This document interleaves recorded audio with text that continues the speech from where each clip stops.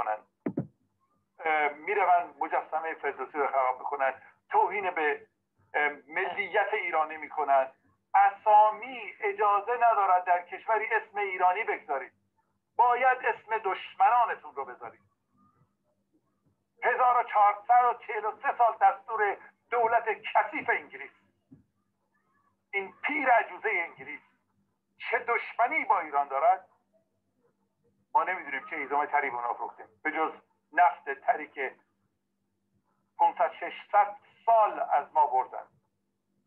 و هنوز دنبال بقیه شما این چطور میشه که از این زاویه میان و حرکت می‌کنن و می‌بینیم که خانم نیلوفر بهادری فر اینقدر پول تو حسابشه که عملیات رو رهبری می‌کنه.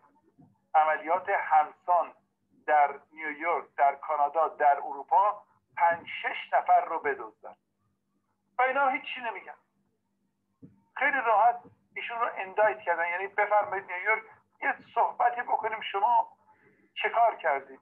هیچ هم نمیگن. این همون پولایی که ما فرستادیم برای ایران از اونجا به شما دادن از طریق صراف ها تو جیب شما. تمام فرزندان انقدر پول هست که همه ایرونی ها رو شما می‌تونید توی لس دستگیر کنید بفرستید. این چاره این مردم مظلوم دنیا چیست؟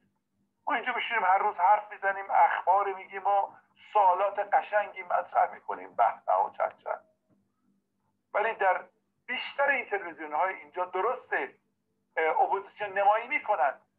ولی چون به خلوت می‌روند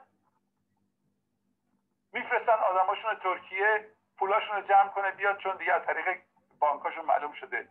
پول چه تلویزیون از طریق چه کسی می‌رسه؟ این چطور میشه؟